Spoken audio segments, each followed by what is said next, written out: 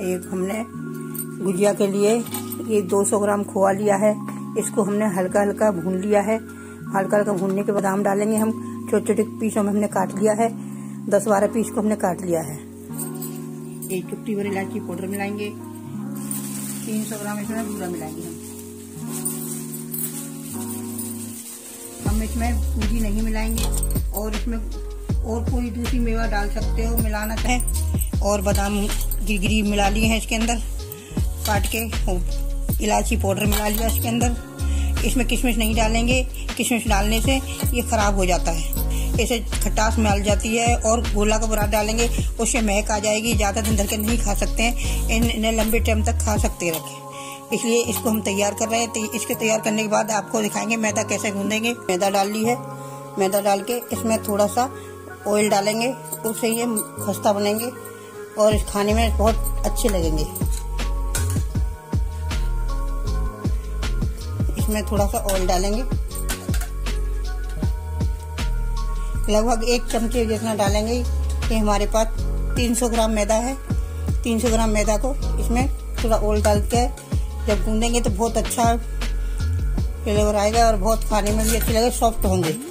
ऐसे बच्चे भी खा सकते हैं, बड़े फिर इसमें पानी डाल के इसे तैयार करेंगे।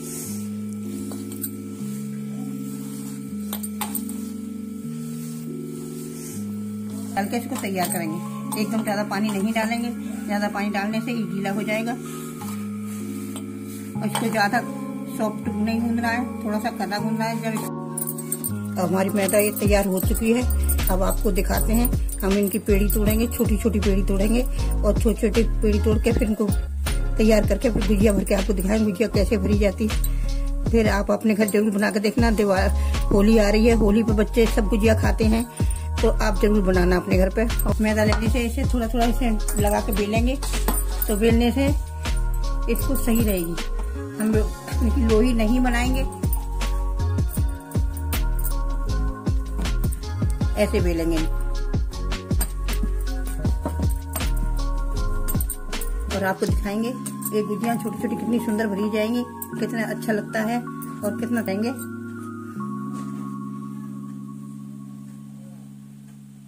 और खाने में बहुत अच्छी लगेंगी। ये प्योर खोए की गुजिया है। इसमें लोग सूजी भी मिलाते हैं। आप सूजी मिलाकर बना सकते हैं। आप जैसे अपना दिल करता है ऐसे बना सकते हैं। हम इसमें सूजी नहीं मिलाई है। ऐसे बंद करने के लिए हम थोड़ा सा पानी का इस्तेमाल करेंगे। नहीं तो ये बंद नहीं होंगी। इनको ऐसे पानी का इस्तेमाल करके ऐसे बंद करेंगे इनको। बंद करने के बाद इसको देखो, इस तरीके से तैयार करेंगे। ये हाथ की बनी हुई गुजिया बहुत अच्छी लगती हैं, देखने में भी सुंदर लगती हैं। मशीन की गुजियों से ज़्यादा सुंदर देखने में लगती हैं गुजिया। और आप अपने घर ज़रूर बच्चों को खिलाइए, बनाइए और होली आ रही है, होली में बच्चे सब गुजिया मांगते हैं। देखो, ऐसे भर के ये तैयार होंगी और इतनी सुंदर लगेंगी और बाकी गुजिया भर जाएगी तो आपको हम ज़रूर दिखाएँगे। देखो, हमने ये गुजिया बना ली है, कितनी सुंदर बनाई है गुजिया। और गुजिया बनकर तैयार हो गई है, अब इनको सेकने के लिए जाएँगे। इससे पहले हम कुछ थोड़े से मीठे समोसे भी बनाएँगे। वो आपको दिखाते हैं, मीठे समोसे कैसे बनते हैं, वो अभी आपको दिखाते हैं। हमको समोसे भरना भी आपको सिखाएँगे, समोसा कैसे भरा जाता है।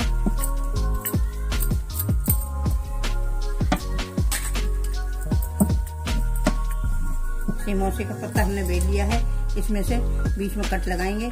कट लगा के और इसको हम थोड़ा सा पानी लगाएँगे यहाँ, आधे में पानी लगा के इसको ऐसे हम भरेंगे और भरने के बाद इसको दबा दिया अब इसके अंदर मावा का जो बनाया हुआ हमने मसाला है, उसको भरेंगे और भरने के बाद में इसको ऐसे बंद कर देंगे।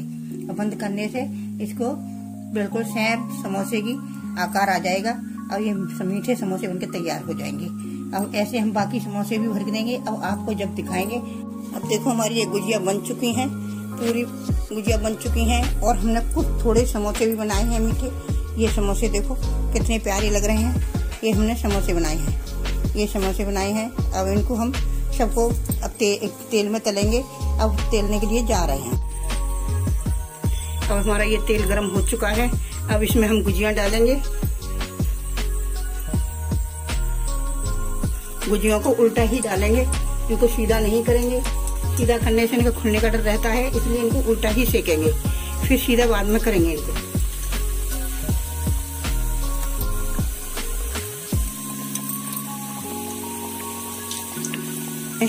आप अपने बच्चों के लिए होली पे बना के ज़रूर दीजिए।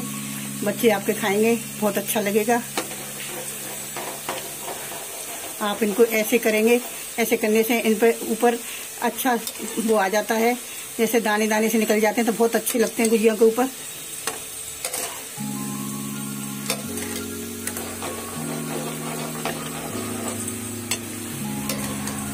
आप और एंड तक देखते रहिए गुजियों का, बहुत अच्छी लगेंगी।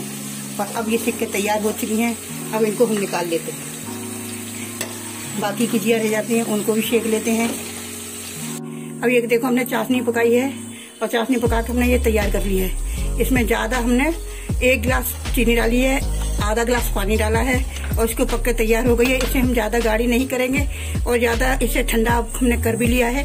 ठंडा करने के बाद अब इसमें हम ये डालेंगे गुजिया को डालने की तैयारी कर रहे हैं। थोड़ी थोड़ी गुजिया इसमें डाल के मीठी करेंगे।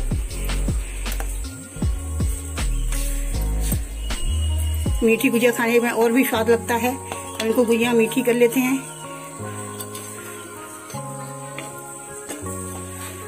देखो, कितनी सुंदर लग रही है, मीठी करी हुई है। ऐसे हम, अब हमने देखो, गुजिया मीठी कर ली है। अब समोसे मीठे कर रहे हैं। समोसे मीठे हो जाएँगे। और आपको अच्छे लग रहे हों, आप अपने बच्चों के लिए ज़रूर बनाना। और होली का टाइम आ रहा होली के टाइम पे मीठे समोसे, मीठे गुजिया बच्चे खाकर बहुत पसंद करते हैं। और मैंने ये खोए के बनाए हैं, बच्चों के लिए बहुत हेल्प नहीं डाली है कभी भी। और आप गोला नहीं डाली है तो आपके लंबे टाइम तक गुजिया चल सकती हैं। गोले से मुश्किल आपको पसंद आए हों तो फॉलो करिए कमेंट करिए और अपना प्यार देते रहिए और हम आप